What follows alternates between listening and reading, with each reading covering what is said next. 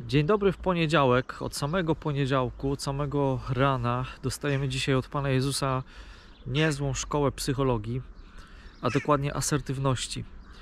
I myślę, że warto, żebyśmy dzisiaj e, nad tą cechą e, popracowali w sobie, też w ogóle się jej przyglądnęli, na ile rzeczywiście potrafimy być asertywni. Bo w Ewangelii przychodzą do Jezusa ludzie i żądają znaku.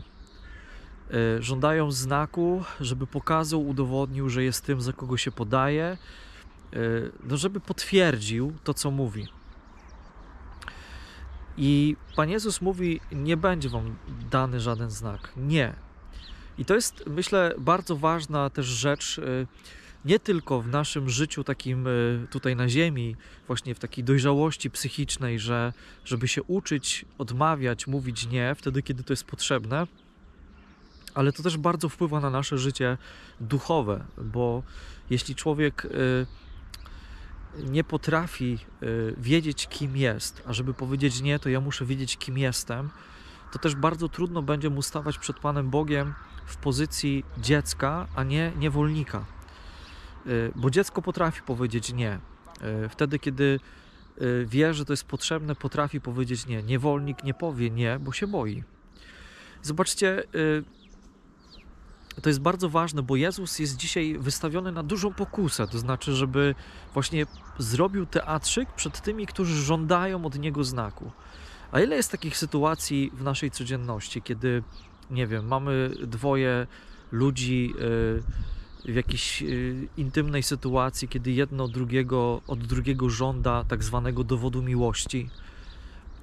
Y, Zobaczcie, ile jest takich relacji, w których ludzie dają sobie, y, dają sobą manipulować drugiej osobie, aż do wykorzystania siebie psychicznie, fizycznie. Y, Zobaczcie, ile jest takich sytuacji, w których to nawet y, są czasami zabawne sytuacje z boku, ale w sklepie nawet, jak ktoś spotyka dobrego handlowca, jak potrafi, jak potrafi dać się przekonać, chociaż wie, że robi to wbrew sobie. Y, Mnóstwo jest takich rzeczy. A zobaczcie na przykład na naszym podwórku kościelnym, kiedy, nie wiem, przychodzisz do spowiedzi i ktoś na ciebie krzyczy, ktoś, to znaczy spowiednik, ktoś robi ci psychiczną krzywdę, a ty nie potrafisz powiedzieć stop, nie potrafisz powiedzieć nie. Y, Ile jest takich sytuacji w szkołach, kiedy, nie wiem, ktoś na kogoś się po prostu drze, na przykład nauczyciel na ucznia, i, i nie potrafisz powiedzieć nie, bo tak jesteś sparaliżowany swoim strachem. Warto, warto dzisiaj podumać, żebyśmy y, nie y, zobaczyli tylko tych Żydów, którzy przychodzą tam, żądają znaku i, i, i nad nimi dumali, ale żebyśmy też zobaczyli, że rzeczywiście asertywność y, to nie jest tylko jakaś mrzonka wyzwolonych ludzi, ale to jest coś, co jest nam bardzo potrzebne do naszego rozwoju, również duchowego rozwoju. Żebyśmy y, byli ludźmi, którzy. Bo, bo asertywność bierze się z tego, że ja wiem, kim jestem, jaka jest moja wartość. I podobnie jest na modlitwie. Y, Ja nie mogę być przed Panem Bogiem nikim. Oczywiście w języku religijnym takie słowo się pojawia, że jestem nikim, jestem prochem, ale to nie może być coś, co jest y, brane przeze mnie dosłownie, bo ja nie jestem nikim. Jestem dzieckiem Bożym, a więc moja pozycja jest bardzo wysoka. Jestem dziedzicem i to z woli Ojca. Jestem tym, który, którego Bóg chce, bo stworzył mnie z miłości. A więc nie mogę y, siebie, swojej wartości obniżać, nie mogę jej zaniżać y, i udawać taką pseudopokorę. To jest właśnie to, co bardzo często wiąże się z brakiem asertywności, to właśnie pseudopokora, czyli takie uniżanie siebie dla uniżania, y, w takim poczuciu, że mi się wydaje, że ktoś, czyli w tym wypadku na przykład Bóg tego ode mnie żąda, a jak się uniżę, to będę lepiej wyglądał, lepiej wypadnę, więcej ugram. No to jest jedna wielkie oszustwo, jedno wielkie oszustwo, jedna wielka gra, która nie prowadzi do żadnej relacji, a prowadzi po prostu do niewolnictwa.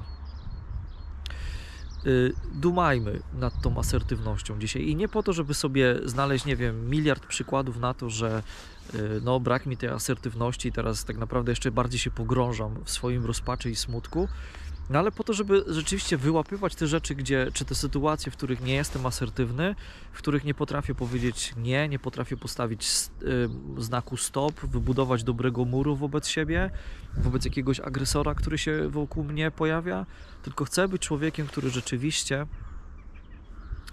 y, rzeczywiście potrafi siebie obronić y, w takim dobrym tego słowa znaczeniu. Umiejętność mówienia nie jest też bardzo ważna, jeszcze raz to powtórzę, w duchowości, dlatego że y, no, mamy mówić też złemu nie. Stop, nie będziesz mnie wystawiał na próbę, nie będziesz tym, który będzie mi dyktował warunki, nie będziesz tym, który będzie mówił, co mam robić.